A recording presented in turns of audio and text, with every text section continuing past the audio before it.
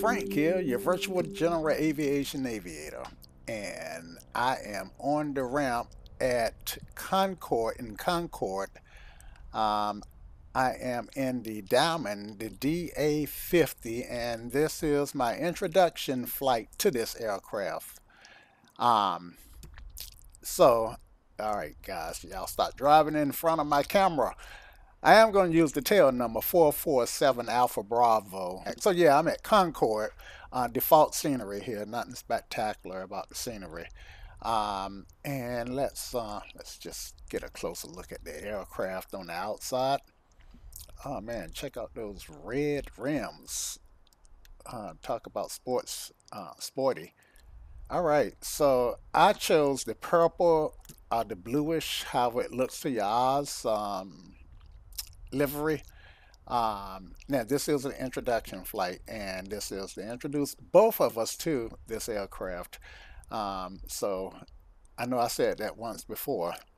Thought I thought it was worth repeating. Um, and this aircraft, as you may have guessed by now, is by Aerobask. Um, the DA-50 uh, got the Continental 300 IO engine. And I'm not one to do a lot of looking on the outside. Uh, I spend most of my time on the inside of the aircraft, but I do like the modeling of this aircraft, and I particularly like looking at it from the front end here. You can see I've got passengers already uh, um, in the aircraft. I can get them out just by going up here and clicking this guy, going to ground options and say get rid of my passengers. And I may decide to put them back on. Uh, the flight is going to be from Concord to Greensboro, North Carolina, so it's a relatively short flight. And I should be able to do a relatively low altitude um, to that flight for that flight.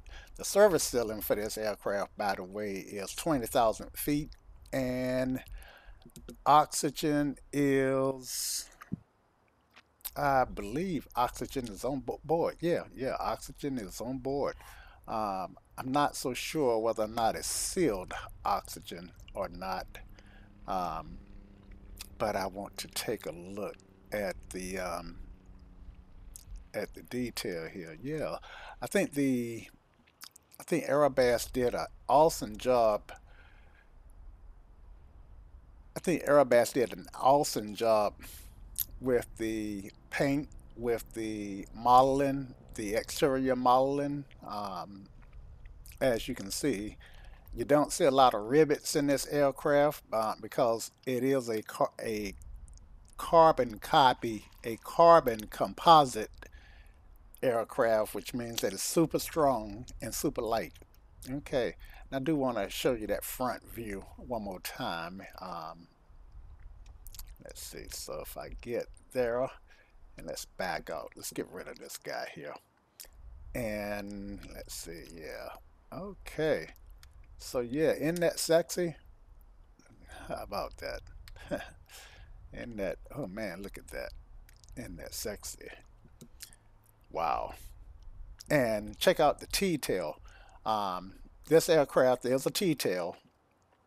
And one of the things that uh, that T-tails tend to be is a little harder to control at low speeds and low altitudes uh, because the prop wind does not strike the T-tail uh, like they would a a um, a regular empennage at the bottom. You know, once the prop is going, you got all that wind going over it. But Aero, uh, not Airbus, but Diamond has has um, has balanced this aircraft so that um, so that that's pretty much not an issue. All right, so let's pop into the cockpit here and uh, see what things look like. All right. So I can pop up my display just by clicking on the tail number that's on the inside. Okay, so I've got the option for custom load manager um, where I can, can I can have a little bit more control. If I check this off, then let's see. Um, well, you can see what happens. Uh, I have with it unchecked,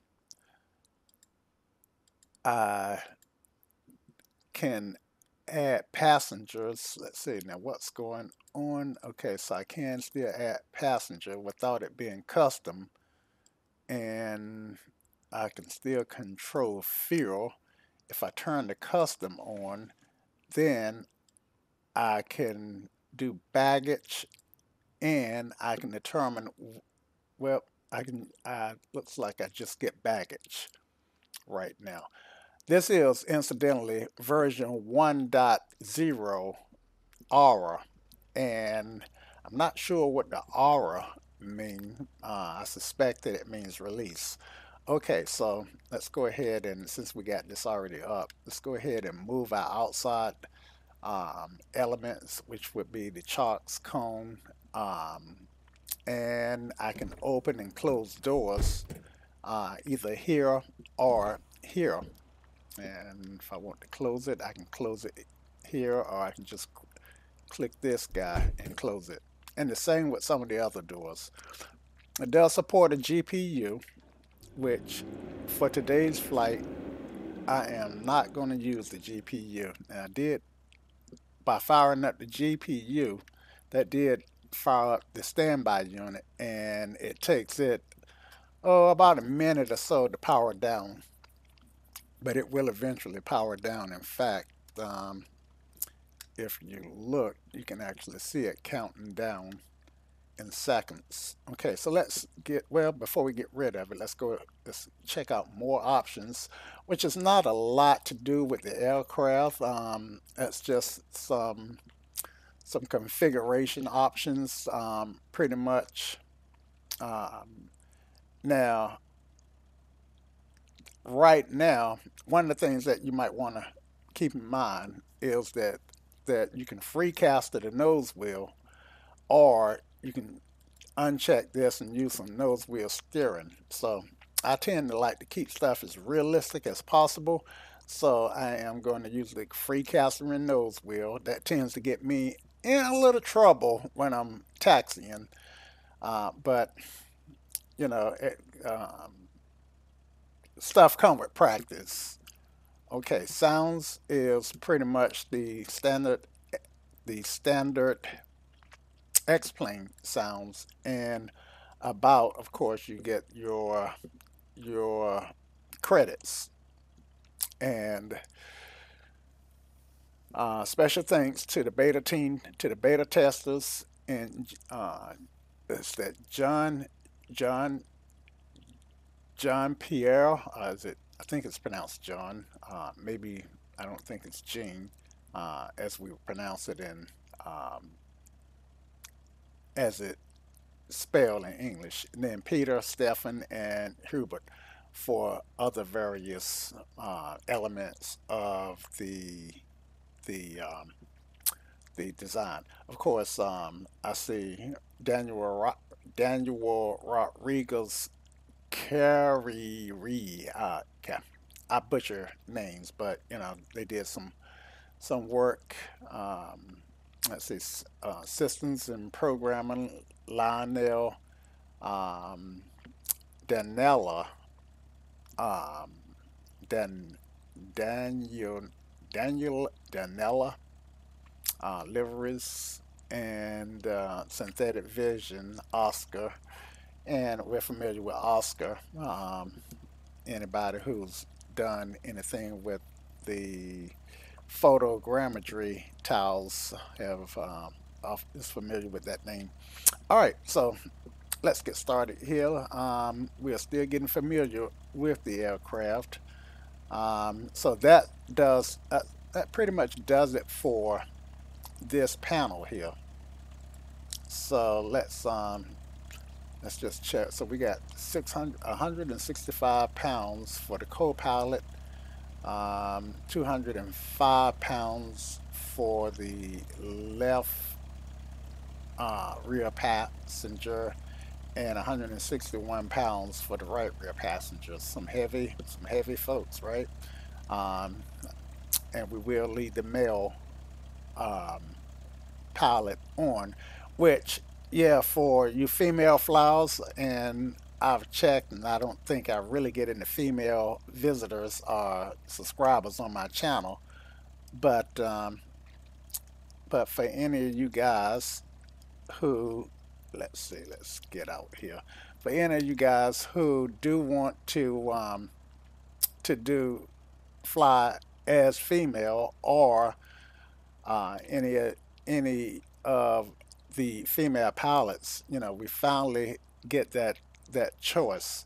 Um, one thing that I do wish that they would give us a choice is to have a a um, a black palette or a or versus a just only having to choose a, a white palette, um, someone who look a little bit more like I do, but um, it is what it is. Um, so, all right. So, Diamond Aircraft Company. Yep. All right. So let's get back in the cockpit and let's see. So we can get some air going through here. Actually, it's not that hot today. Uh, both windows are working and I am gonna close those up. Uh, at least, yeah, I'm gonna close them up right now, lest I forget. Uh, last mean in this case for fear that I forget. Okay, um, overhead. Now we've got these cool um, animated visors that I heard that are animated in real life like this, and um, that's pretty cool. But what if I want to stop it? I guess I don't have that granular control, and I don't. I would imagine that there is a little bit more granular control in real life. So when you're flying, when you're sitting here and you want to put your arm up and hold on to something, you know, these little neat uh, handhelds things are pretty cool. So yeah, all right. So let's, uh, let's look a little bit closer. So we got, we do have icing, um, and this is the, uh, I think it's the glycol um, wet ice de-icing system. Um, the the engine is fully FADEC uh, except for um, the the throttle is not uh, FADEC and it does have a go around button that you would need to assign a key to or program your uh, yoke to. Now, I think the alpha yoke does have a go around button too that can be tied to that. Um, let's see. And let's see what do we have. We got um, we got our prop de-ice. Uh, again, it's wet. Um, and this is pretty cool uh, that it's animated my my pedals. So I'm five. I think I'm. Uh, let me just lock my chair here. I think I'm five eight myself. Um, I'm 68 um, years old. Just joking.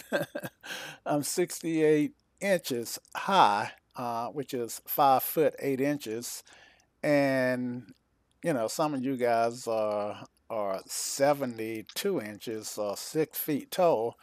Um, anyway, so here uh, since the seat is fixed, we can move the, the pedals back and forth uh, as needed. Now the pedals are electronically operated, so I do need to apply power before I can uh, move them, uh, which I will demonstrate in a few minutes. Okay, so um, yeah, so along the the bot um, a bottom here we've got the these guys here.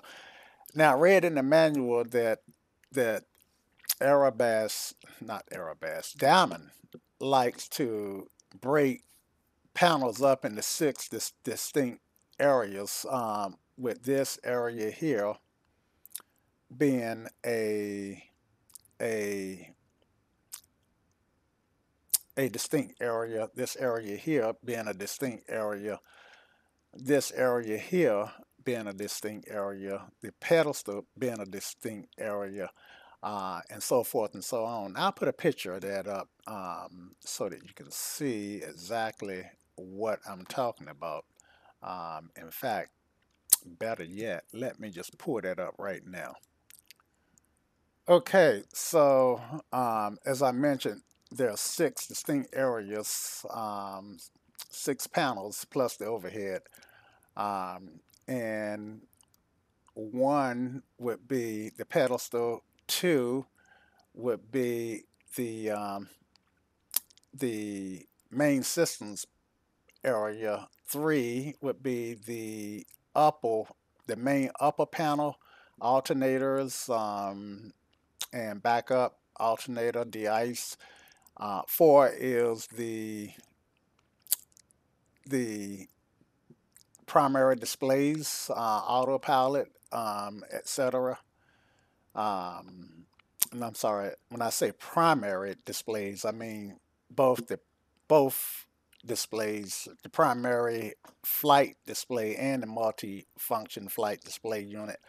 Um, five would be the standby avionics. Let's see if we can find five here, which is this area here. And six is, uh, let's get down to six, uh, the breakers, which are uh, over here to uh, just in front of the co-pilot and seven is let's see seven which which is uh, is the plus which is the overhead. And I can show you the overhead. Let's see. So this is what the overhead looked like. Um, got a compass and a compass correction information uh, lights. I think the lights were actually part of the um, the PFD, uh, the uh, the primary displays. Okay, so so you get the idea. All right, so let's um, let's get these guys out of the way and let them fold back in. And let's get started here. Um, okay, so I've started this aircraft before and it's really simple to start.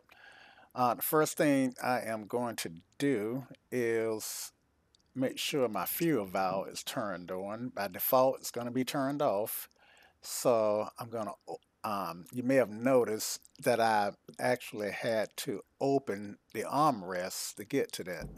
Uh, so this is the armrest and I actually had to open it, which I can click on it and voila okay so let's uh, turn this guy uh, it's got three settings off emergency and normal and I'm gonna turn it to normal and that's about it make sure that my flight stick is pulled back make sure that my brakes are engaged uh, this little lever here is my brake lever and um, pretty much don't have very much to do. Turn my engine master on and let's let everything start up before we actually um, well actually I think I missed a step. Before I can before I turn my engine master on I need to turn my battery master on. Okay. And let's see my battery master was uh, okay, where was my battery master? Um, oh yeah, right here. I'm sorry. battery, uh, it's, it's the electric master, so there's my battery master. And you can see everything starting up. And I like that Aerobask has animated some startup time. right now it's going through some internal testing and I would get an ARIA warning uh, alert when things test out. Okay, so nose gear is down. Make sure that's down. Um, and system test okay. So my TAWS system, my, my terrain awareness warning system is okay. So that's good to know. All right, traffic. All right, and we got one more ARIA warning. I don't really have. Test. Pass. So my TCAS um, test has passed, and that's pretty much it. So with the throttle to idle, I can turn my engine master on, and I just hold my start, press my start button. and voila it is started. Now I'm gonna adjust my throttle up a little bit. At a glance I can see my oil pressure came up because my oil not my oil pressure light is no longer yellow. I don't know if you noticed that it was yellow before. Okay so I'm getting a red warning. You know red requires immediate attention. It's let me know that my voltage is is not has not come up. So I'm flip on my alternators and voila my my voltage has come up and my secondary alternator is now on. And as the engine warms up then my my temperatures should should come slowly up into the green. In fact my coolant temp is almost up and you'll see the coolant light go out uh, momentarily Okay, so I'm gonna hold this view while I talk and till that light goes out and and while we're waiting on that I am gonna go ahead and fire up my primary display which is my avionics. Ah shucks guys I didn't didn't realize that that let's see I'm gonna just turn it off and and uh, let you see that light that where the coolant temperature and the gearbox temperature has um, the caution signals has gone away. Uh, I actually wanted you to see that, but hey, I'm sure that you guys trust that what I was trying to demonstrate is actually what happened. I do like that on their on their um, multifunction flight display unit. They do provide some additional credits to the developers. I think that's really cool. And they also show me what my my database, what database I have running, uh, which is pretty cool. Okay, uh, the breakers are modeled, and you know there was a time when uh, breakers being modeled kind of was kind of a a thing that showed well you know the developer went far and above to actually model breakers. Um, for payware having your breakers model is becoming the standard. If I buy an aircraft today and the breakers are not modeled then I am not going to be that happy with the aircraft. Um, and one thing about having breakers modeled is you can tell um, you can tell X-Plane to pull the breakers uh, randomly or in this case you can actually tell um, you can actually tell um, Aerobask to pull the breakers ran randomly by going here and under let's see where is oh okay uh, right here I've got um, reset all breakers and then I've got reliability perfect you know breakers are not gonna um, shut they they're going to work perfectly then realistic, and I've got uh, entertaining, and then I got challenging. You know, breakers are going to be all over the place. Uh, I like realistic because I like to keep things as realistic as possible. Uh, I mentioned oxygen, and the reason why I think I mentioned oxy- oxygen is because there is oxygen on board.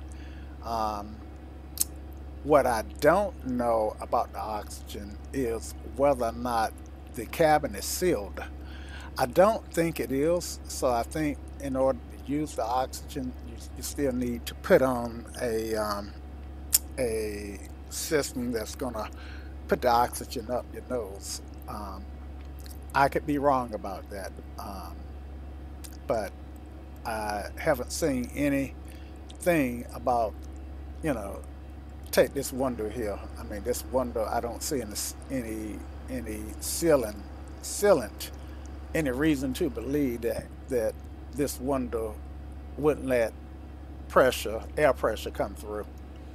Okay, so enough about that. All right, so the aircraft is started. Everything is nice and warmed up. And now I can enter my flight plan. Okay, so there is a trick to the flight plan. I've got on my pedestal, I've got this guy here um, on my armrest. So, so yeah, now I can, I can actually open it up here and enter my flight plan, which is kind of um, awkward, but you know, it works. Um, so, um, but doing it this way, I can, I can see my PDF. You know, I actually program my my computer to show it to me this way. Uh, let's see if I can bring it up the way that I should. Uh, this way. And in which case, I would need to shut it and open up the whole thing and let's see. There we go.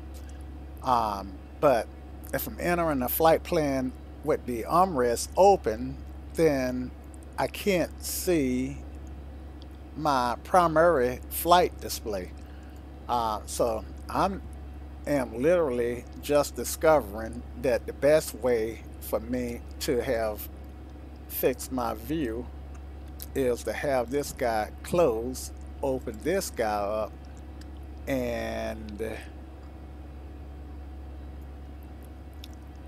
and I can enter my flight plan and see my primary flight, my multifunction, uh, multifunction flight display.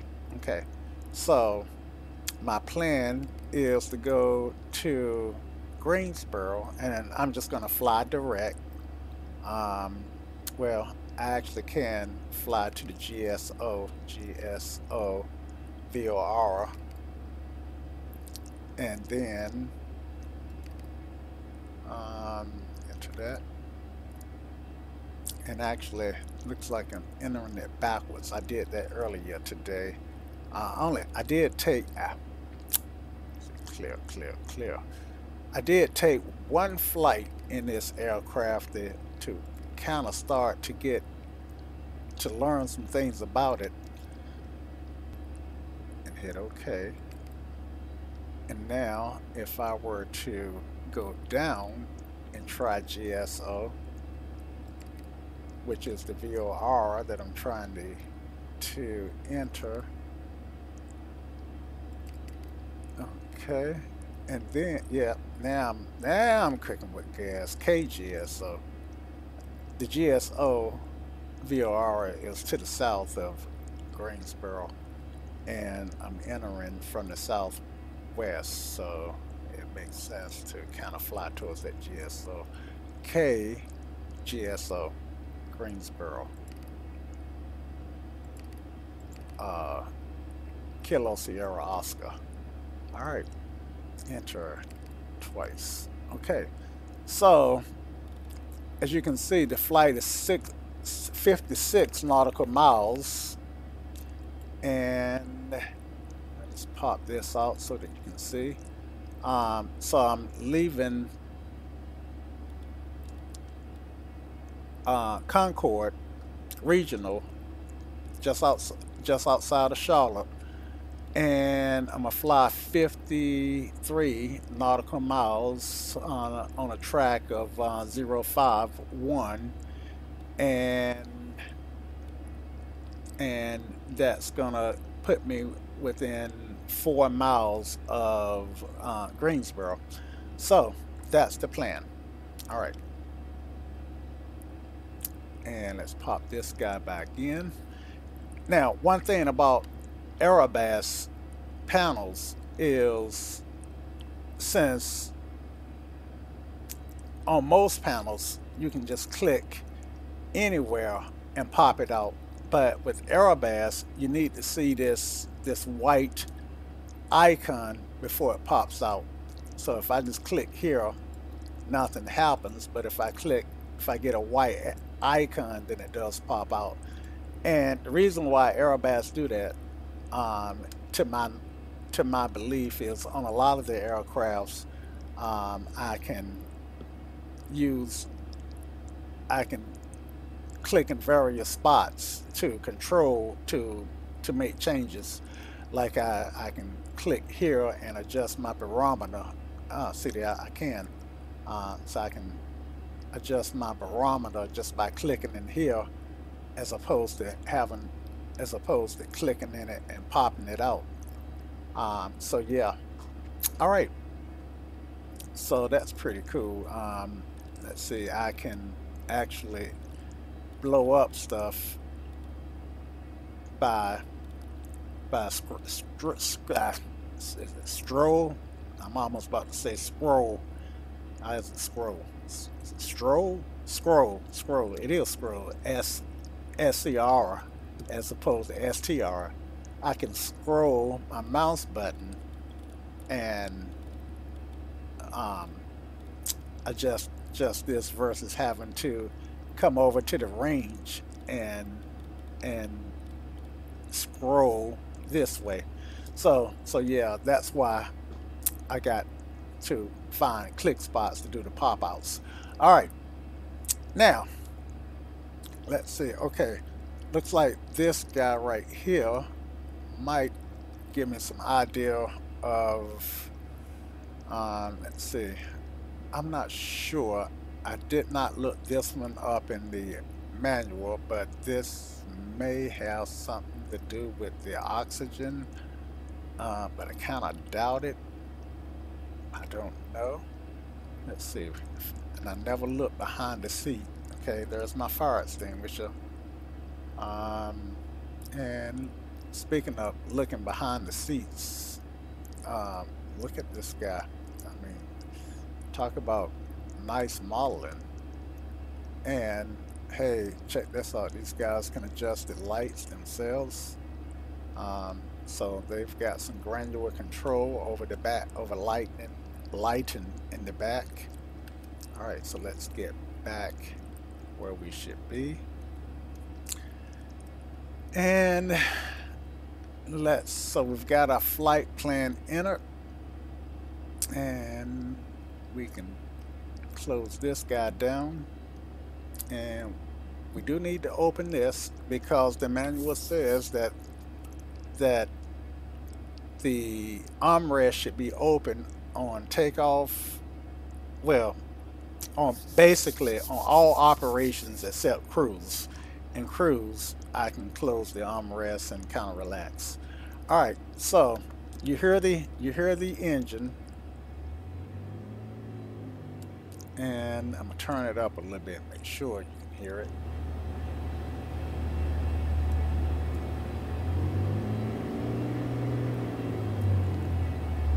Um, one of the first things that popped out I know I'm skipping around one of the first things that popped out when I first opened this aircraft uh, was the stitching here how it how it kind of looked effervescent and kind of popped out at me that's just a side note all right, back to the engine sounds. Yeah, yeah.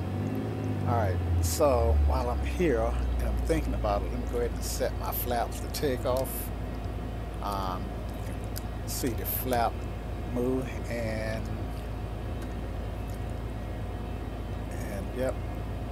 okay fuel is set. All right.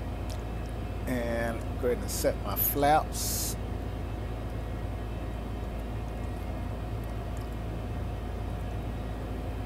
Set my flaps to take off. And 133 knots indicated is I don't want to lower my flaps at 134 I want to be at 133 or below that's kind of what that's telling me all right so let's um, since we've heard the engine sounds I'm, going ahead and put my headset on and I've got headsets on. Okay.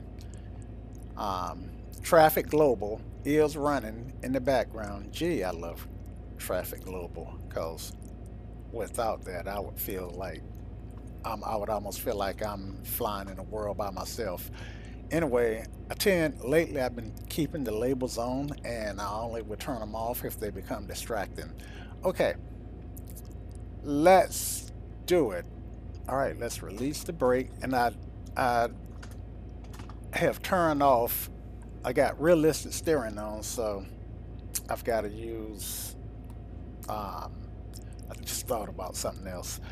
I got to use differential braking to steer this aircraft, which I am absolutely terrible at. But if it's any consolation, this particular aircraft steer really well with differential braking. Now, what I thought about is I haven't gotten an ATIS or decided which runway I'm going to take off on. So, um, for this airport, uh, let me pop into Sky Vector.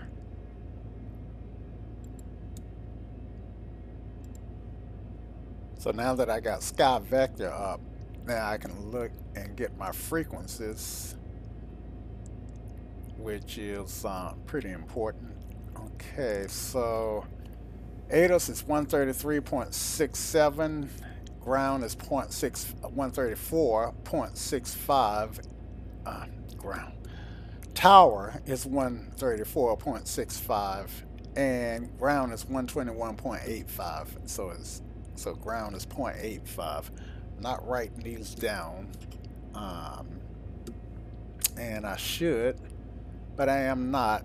So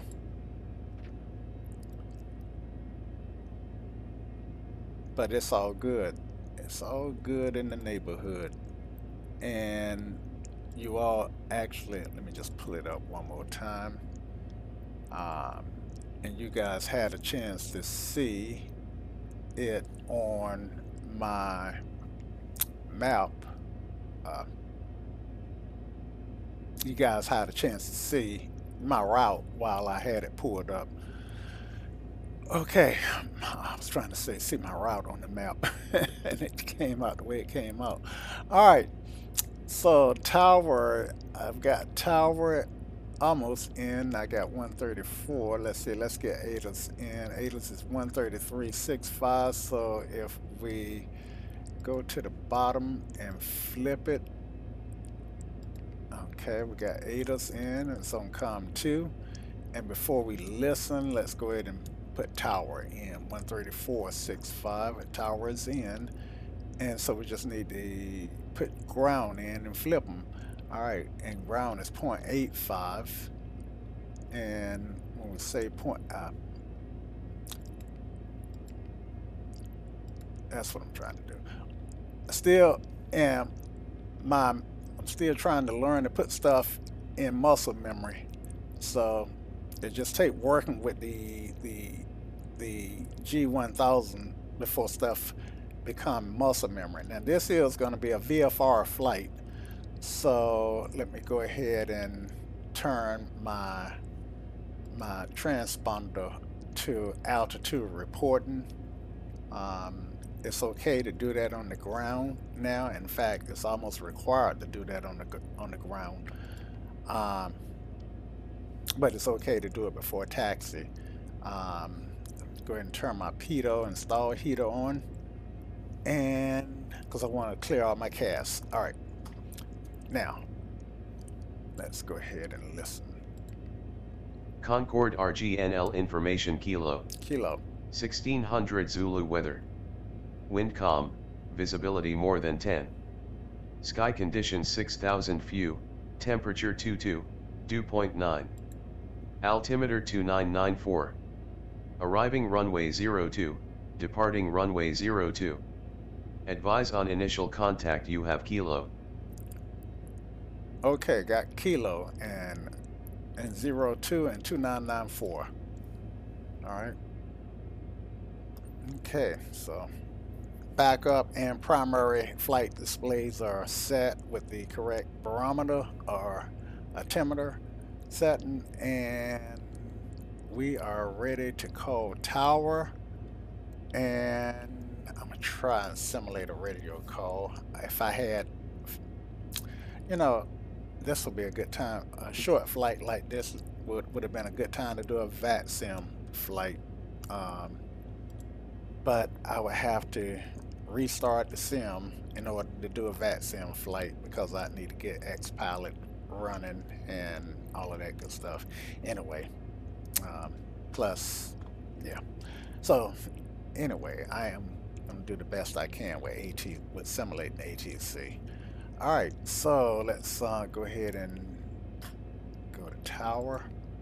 I mean ground, and we're at the the. Let's see. I guess I need to know.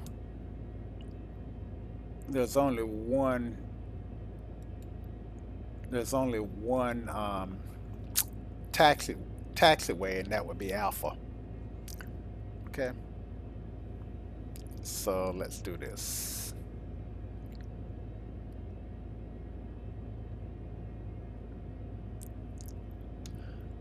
Concord ground.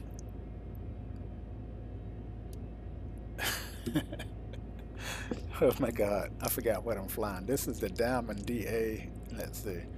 Alright, so we just call it Diamond. Concord ground Diamond 447 Alpha Bravo is at the FBO and we're ready to taxi. We've got Kilo. Taxi to runway 02 via Alpha 447 Alpha Bravo. Okay. All right, so um, I didn't. I don't. Let's see. I wonder. I wonder if this aircraft. I'm gonna pop outside to see if this aircraft, ah, for that to happen, has a strobe light that comes on automatically. I don't see any strobes. I'm trying to get up under it. Ah, key.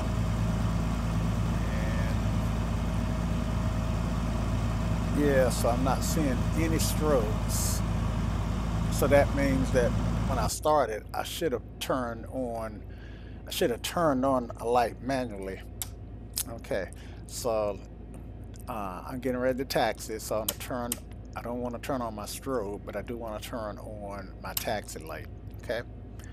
And I'm gonna release my brake. And do a brake check left brake, right brake, both brakes. Brakes are checking. And okay, so we're going to zero two. And close. That's not what I wanted. Pop this guy out so I can see what's going on. Clear. Okay, clear. Clear. I don't want to remove it. So I'm going to clear again and just hit that guy. Alright. And what I want to do is zoom in on my airport. Um, 02 is at the bottom here. So if I turn to the left and go to the left and that should take me to zero two. All right, so, so yep. All right, pop that back in, clear right, clear left. All right.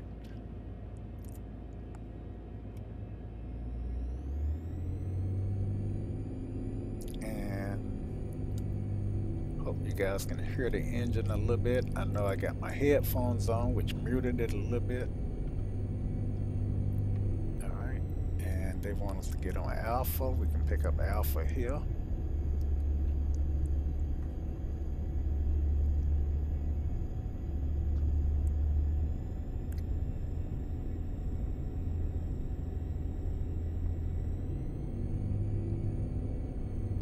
2 plus 18 is 20.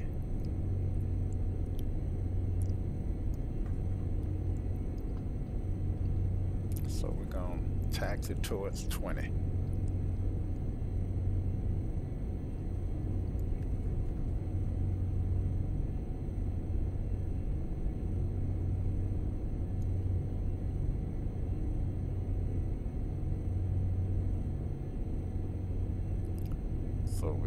South.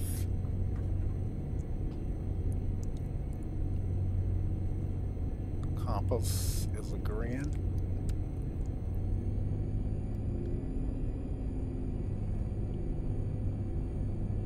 Now, one thing I did not do that I probably should have done, in fact, we'll, we'll do it as our only run-up check, and that's to do our FADEC test. Um, I'm not, I've never done a FADEC test, so I'm not sure what happens on a FADEC, FADEC test. And I don't know if this airport has a run-up area. Excuse me.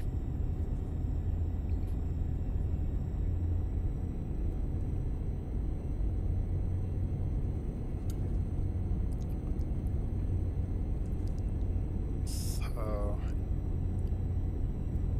so taxi lights are on.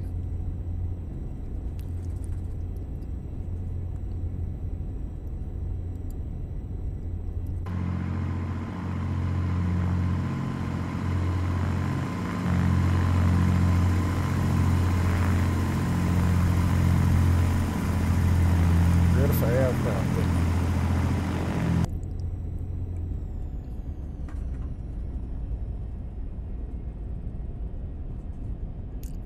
Okay, I didn't see a run-up area. I don't see a run-up area. So I'm just gonna pull off to the side. Point the prop wash towards this field. Because winds were calm.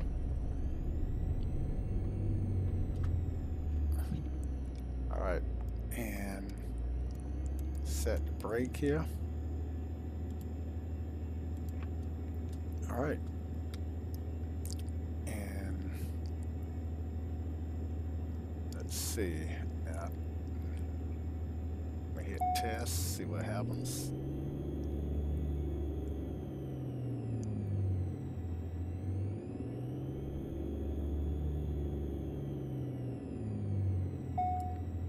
Okay, and we'll do a force. I'm not sure what force B means.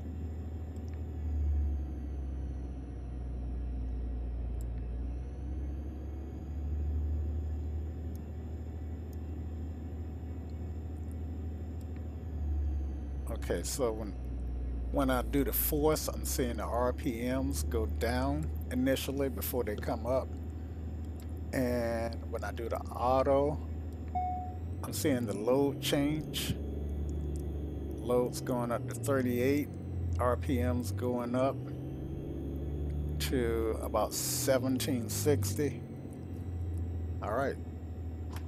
And of course, I did see the the CAS message pop off, pop on and off. Okay, so so yeah, there's my FADEC test, and um, other than that, I don't have any mags to check, and I guess I could turn the alternators off just to see if I get CAS messages, and I got one there.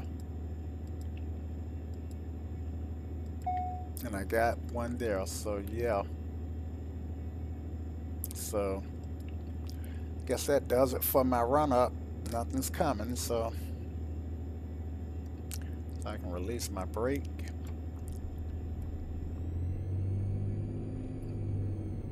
And let's line up.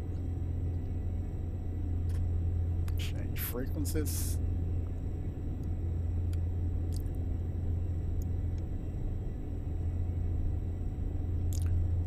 And make this radio call. Concord Tower, Diamond 447 Alpha Bravo is holding at runway 02, ready to depart uh, to the to the northeast.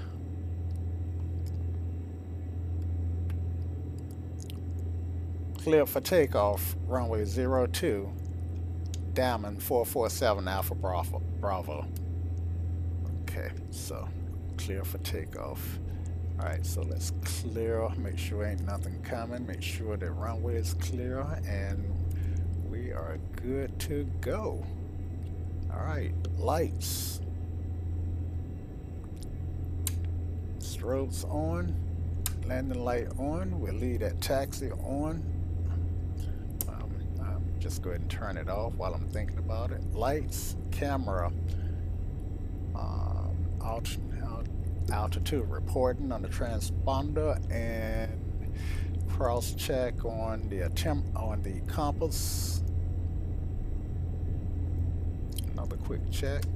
Passenger brief. Ladies and gentlemen we're about to take off.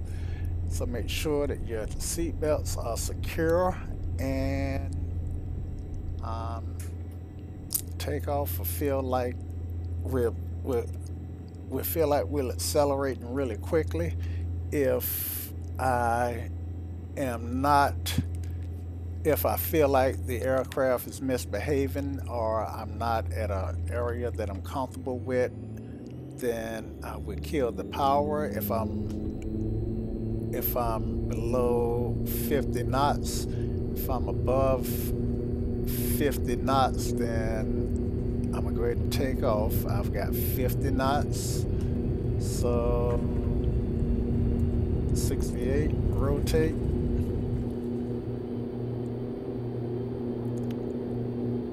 And we climb out at 79 with the flaps in.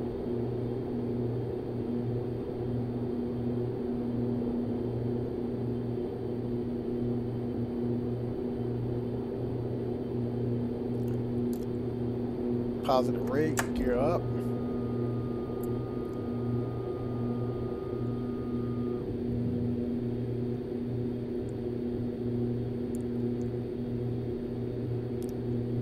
Flaps up, and we'll climb out at 94.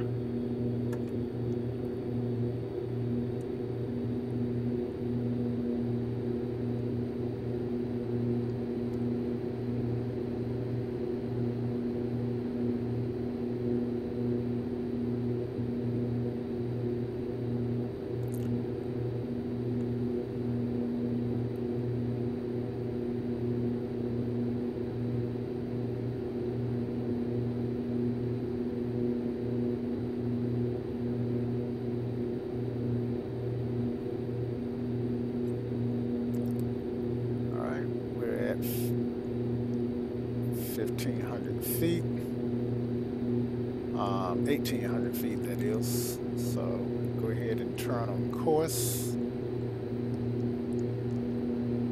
Turn nav on. Just kind of follow our flight director.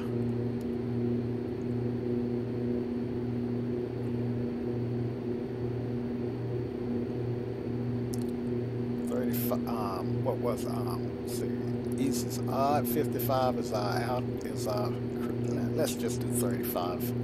Um, no, we do 55. 55 is our cruising altitude. One thing about um, VFR flying, we get to decide where, at what altitude we want. Let's look for traffic. And traffic, real good. right. Let's correct back over. And we'll set our altitude for 55.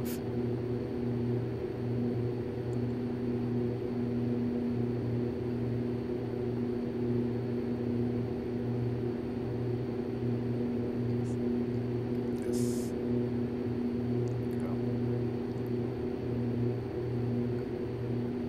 That should give that should be 55 and it is. All right.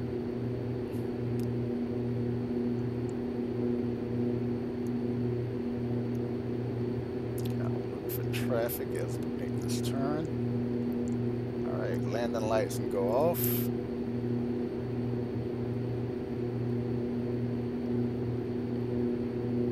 Gear is up, flaps are up.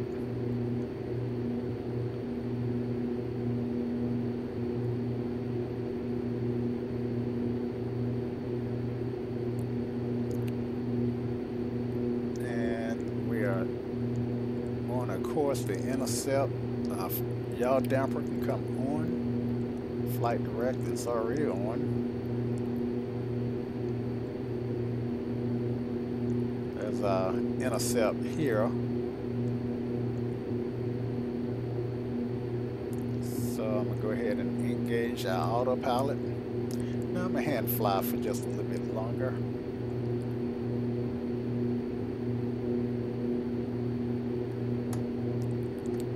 Now, I could be climbing a little bit faster than I am. Uh, actually, I need to pour the torque back to 90 because I shouldn't be, I shouldn't have it red line any longer than five minutes. That's the max uh, that I should have the torque um, for. All right. And so at 90, I should be, I can climb out at 94. Um, okay, go ahead and engage my autopilot.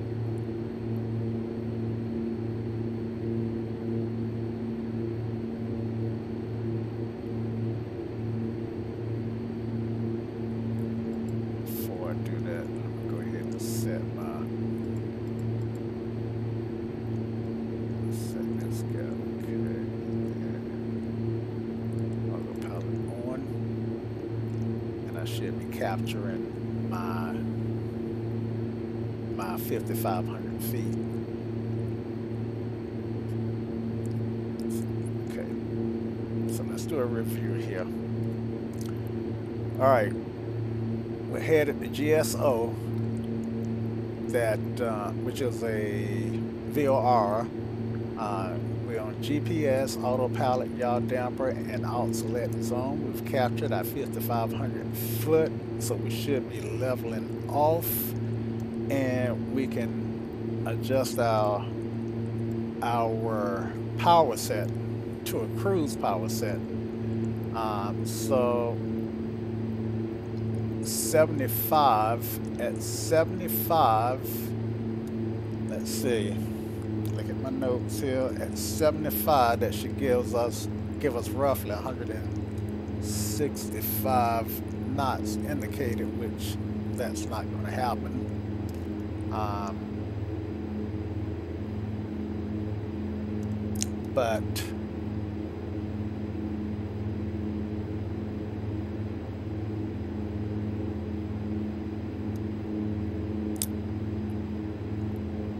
but my speed is creeping up.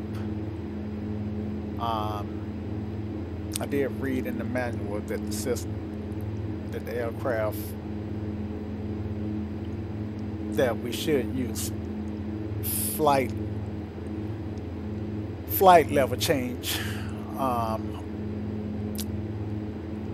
when we're increasing. Now something's killing my frame rate and I'm not sure what it is. But usually, whatever it is, it will s- resolve and, and I get my frames back shortly.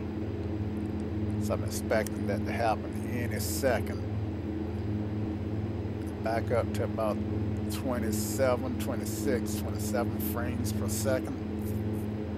So I don't know what the computer was doing, but whatever it was doing, it was busy.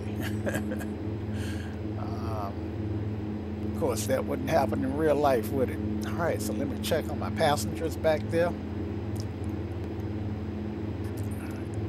Hit this button here. Make sure that didn't happen again. And now, let's try and check on our passengers back there. All right. Oh man, I didn't put any passengers back there. Okay. I don't think I did. Apparently I did. Uh, nope. So I've got one passenger on board. Some reason I thought I had um, added the rest of my passengers. Um, it would it would be poor form to add them now, but this is a introduction introductory flight, so let's just add them so that we can see what happened. Well, first of all, we can see if we can add them in flight, which I'm pretty sure we can. Uh, well, says they're on, on board. Okay, so, oh, I get it. I have to be outside of the aircraft to see the passengers in the back.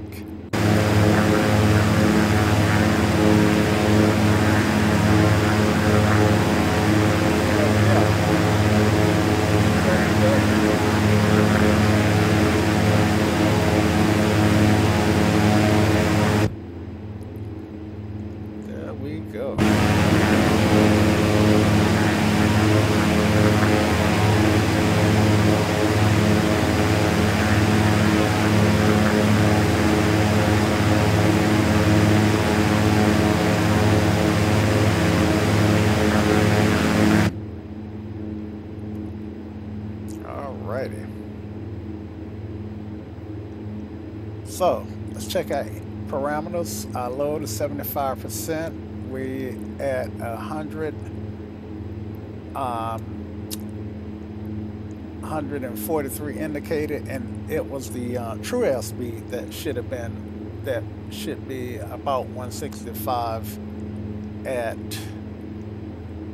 at 75% load and our true airspeed right now is 155 I think we're maxed out on our true airspeed uh, let's click this guy hopefully we can find our aircraft. Yeah there there I am. Let's see we've got 30 nautical miles before we get to to the Greensboro VOR so there are some things that I need to do um, that I tend to wait until it's too late. That's number one. Look up my uh, enter my my radio frequencies. So let's let me get those for Greensboro, and I'm gonna do it off screen here. Uh, let's see. So.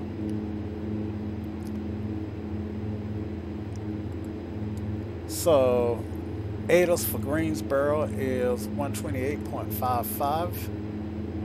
So let's dial this up to 55. Let me uh, zoom in so you guys can see. Uh, 55.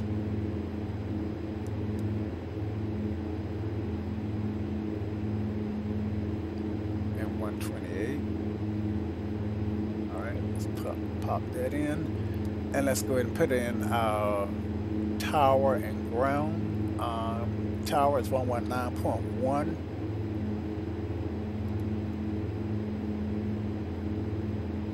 So we'll put that in first. That's the first people we need to speak with. 119.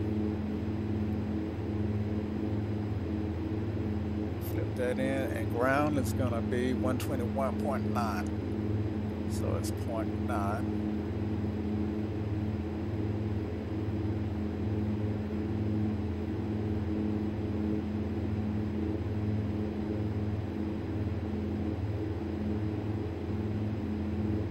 Okay, so back out here and let's listen to our ATIS.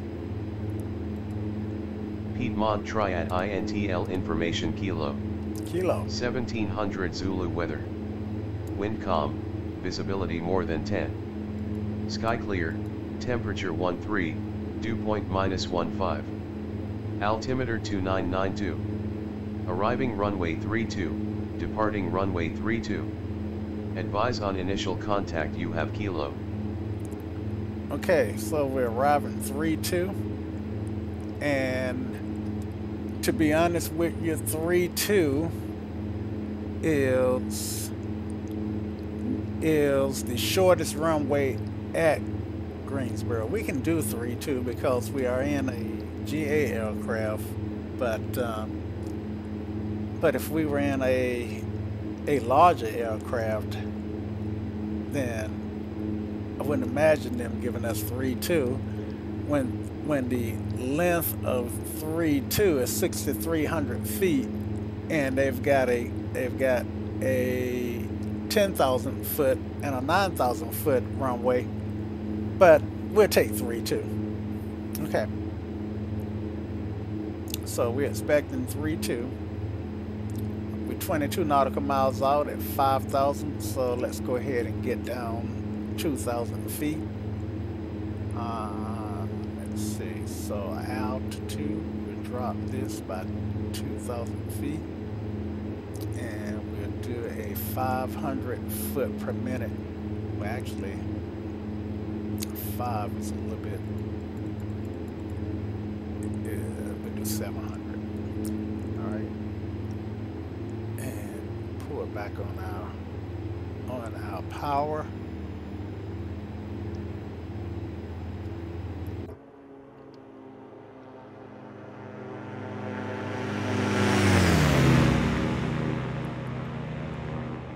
The Diamond DA50RG.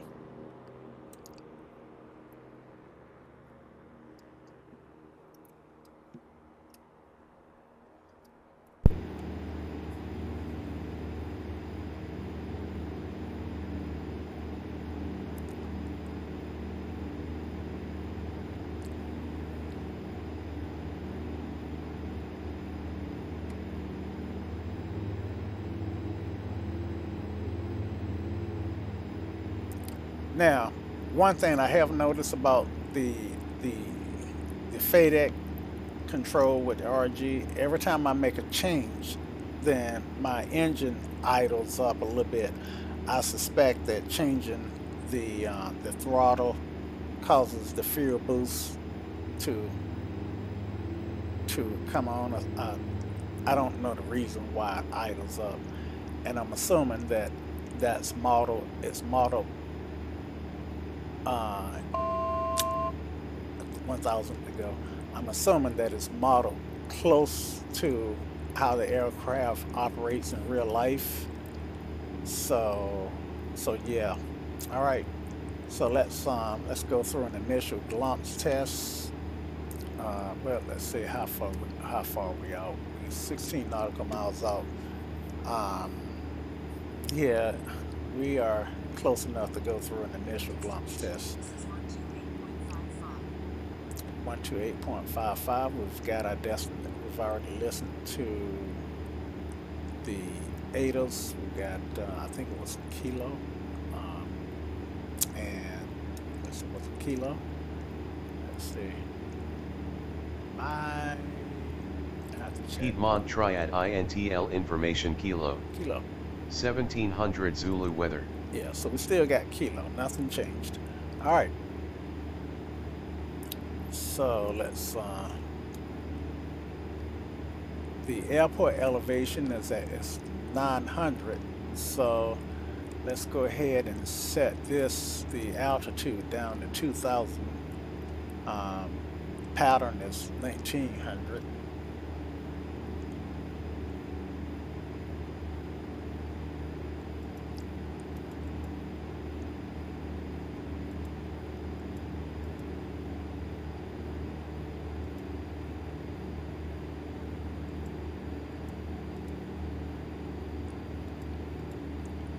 Oh, wrong way. All right. Suck got that set to 2000. I know you guys couldn't really see what I was doing. Okay, glumps, lights, gas, undercarriage, mixture, not not needed props, automatic. All right. So uh, both of both mixture and props are automatic. All right. So I can see my airport. Three two should be. see three two. I'm looking for parallel runways. All right. So I've got a runway here and a runway there. And I should have a runway running across. Uh, so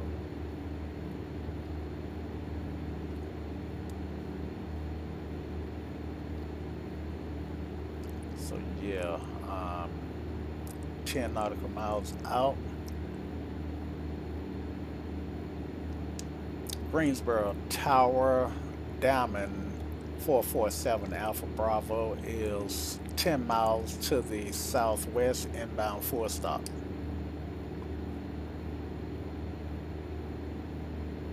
Expect runway 32 Diamond 447 Alpha Bravo.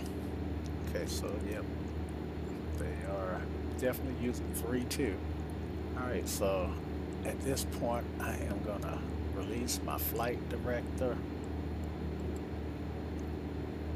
Release my autopilot, my flight director, and my yaw damper.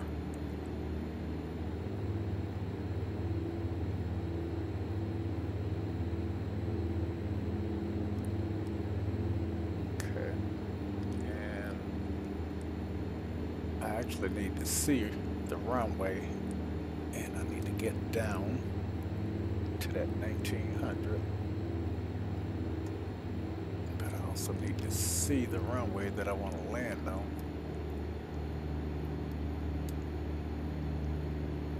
And yeah there's the top of it. Okay. Yeah there's the top of it so we're gonna enter on a base.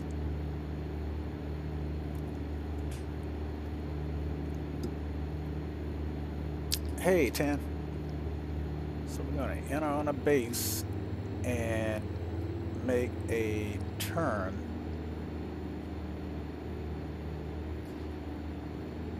Be a little bit more aggressive at getting down. And see if I can't see that runway again.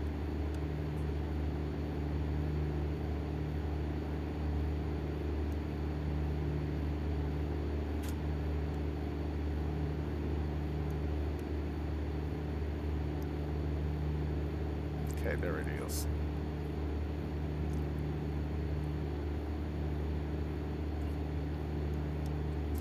All right, so think I want to make my turn about right up in here. So I need to know where I'm gonna fly to.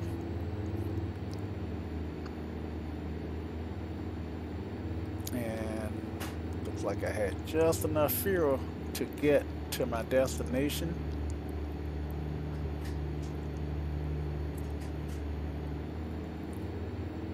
Like I'm low on my left tank. Got a little reserve on my right tank.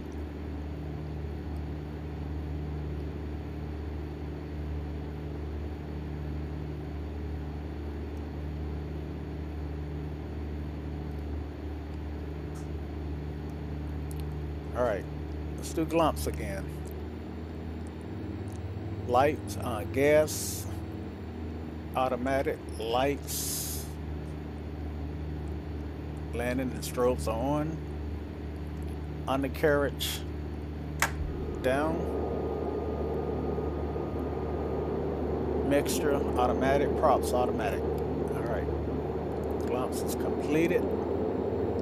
Well, seats, seat belts, And that completes glance.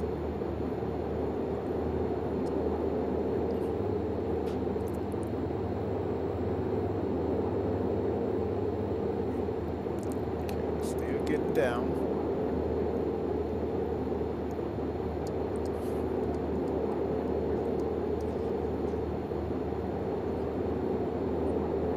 Still turbulence there.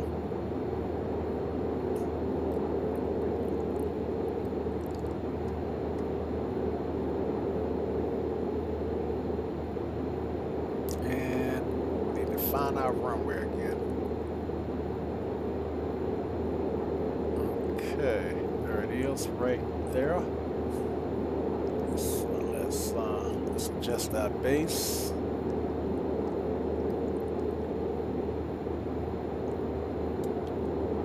And It's right here. Okay, so we're at pattern. So gonna level off. One thing about the DA-50, it seems to be a really easy aircraft to fly. I may have put my landing gear down a little early, but that's okay.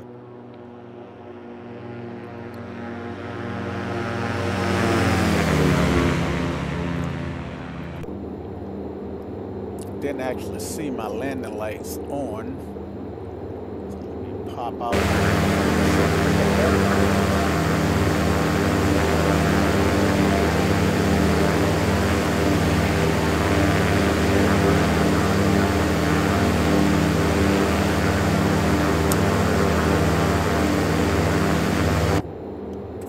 So I'm going with landing and taxi lights.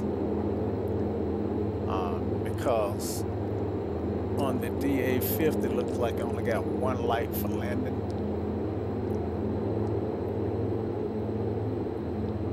All right.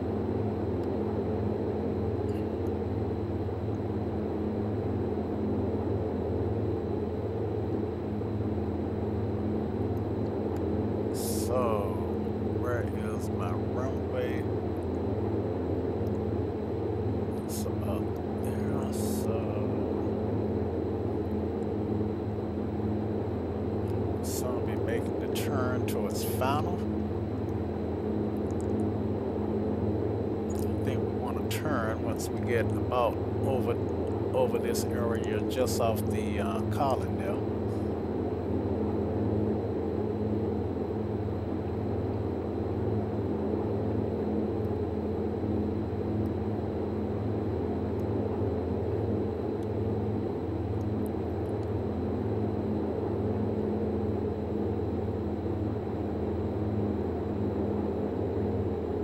back down the pattern here.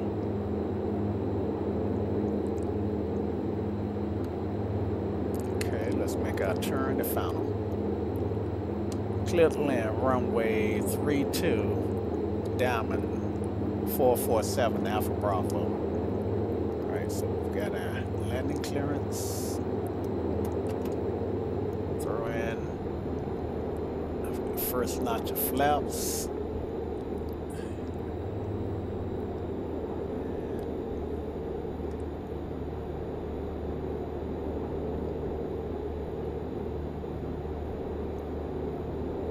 We are a little high. Okay, glance gas, lights, undercarriage.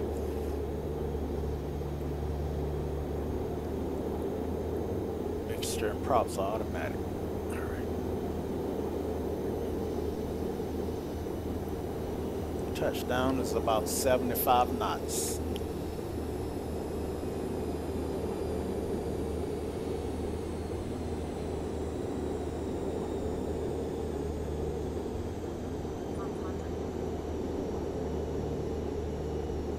Five hundred. We're on the slope.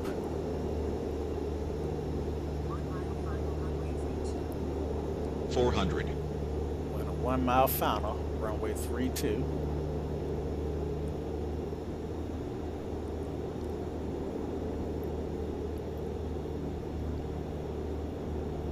Three hundred.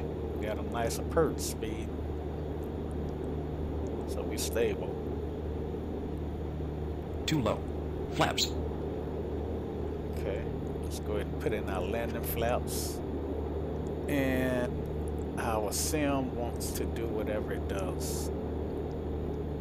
Too low. Flaps. 200, Okay, flaps are four. Set for landing and verified. 100, I mean, speed there. 74. Eyes to the end of the runway.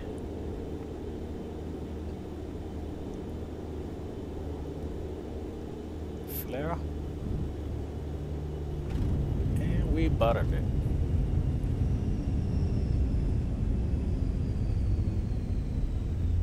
Alright, let's go ahead and cross runway 05.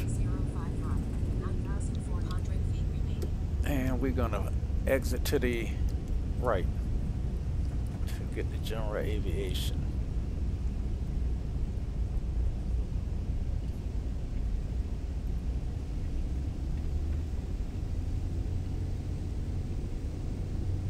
Okay, we're Delta and Kilo.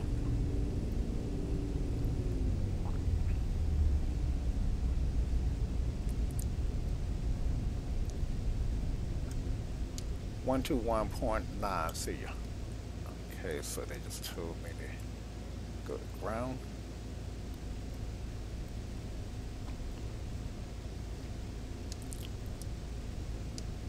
And make this call. Greensboro ground. Diamond 447 Alpha Bravo is at Delta and Kilo. Uh, On F, we'd like the, we're going to the FBO.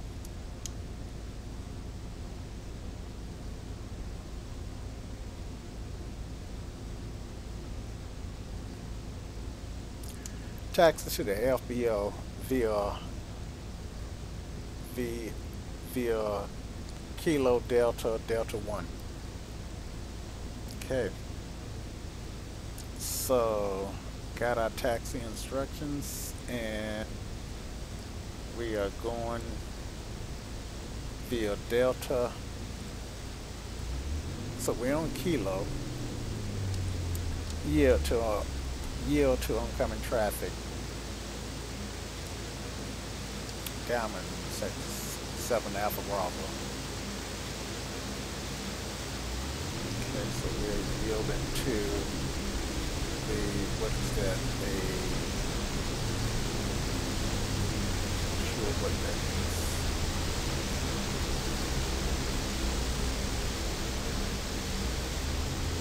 Okay, so this ought to be Delta here.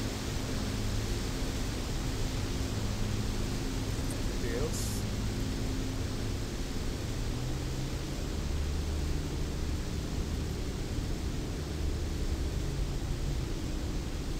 And we just follow this guy. If he that first turn, then he's on Delta 1. Oh, he's taxiing out. So I'm taxiing to Delta 1. Oh, so that's why they put me on 3 too. Maybe so I could be close to general aviation when I landed. okay, Delta 1. I doubt it because I didn't follow that much of a flight plan for them to even know.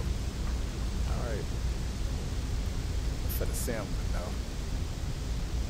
But actually it wasn't even the sim, it was, it was it was the so are on our own now. It was the um, ATIS that had us go to Delta to 3-2 with winds calm. Okay. I really need a more powerful video card because uh, there are some micro stutters that this that the sim really doesn't pick up, but my brain picks them up, and they are they can be pretty uncomfortable. All right, brakes are set, and we're parked here. All right, so let's uh, let's power down. Um, I forgot to turn off my strobes. I forgot to clean up. FLT, I forgot all about it. I always remember FLT. Okay, so uh, let's turn off switches.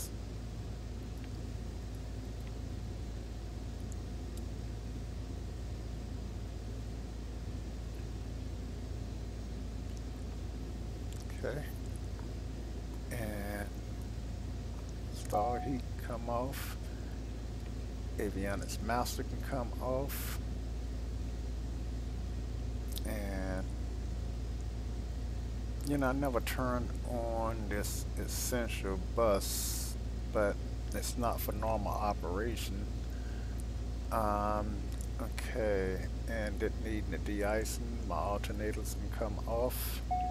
Alternator one, alternator two, and I can kill the engine.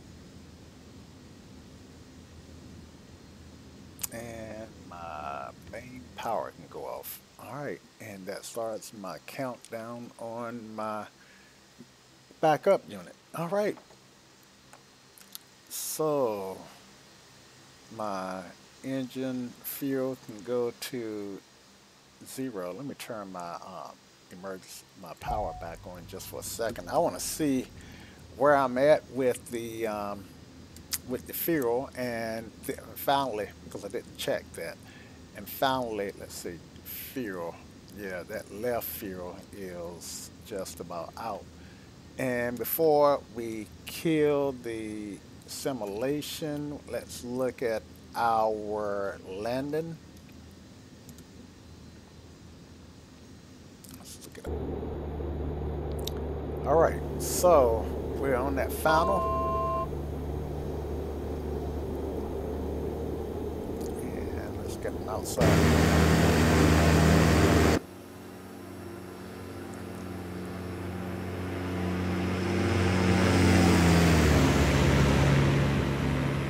And I got a major stutter going on.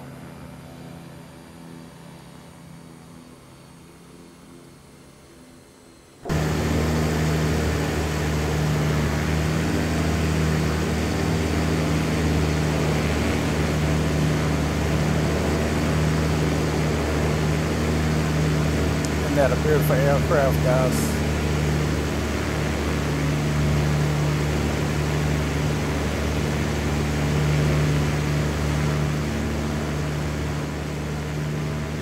Lovely.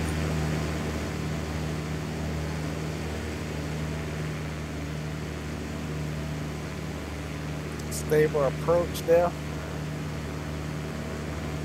This is a butter landing.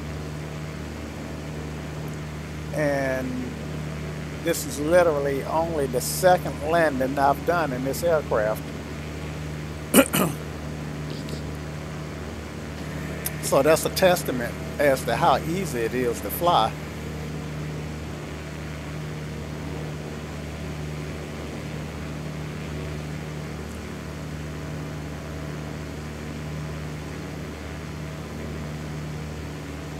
I don't know what's causing this big stutter, but it is what it is. Okay, I put in that final notch of flaps there. It's getting a little slow, so let me give it a little throttle.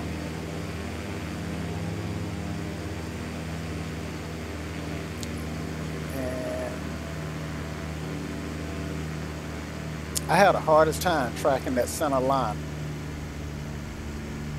But I'm on it. How about that?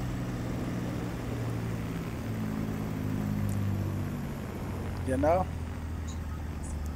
I'll take it.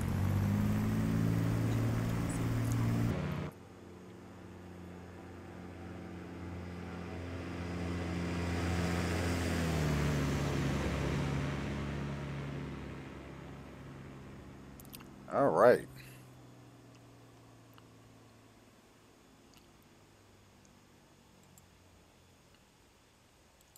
Approaching runway 05 right. So, I think that uh, we started the the faded the master back up to check the gas. All right, guys. So that does it for the introduction to the DA 50 RG by Diamond. Be unique. And a little bit more of the there's some so looks like now there's my oxygen. And I wonder if I got one on the other side here no? I see what's happening now the it's ac- it actually did put on a mask uh, once I poured oxygen looks like it put on a mask and it's redrawing something so in the process of redrawing it's either going to crash or finish drawing and it it decided to crash all right so until next time Y'all come back now. Here.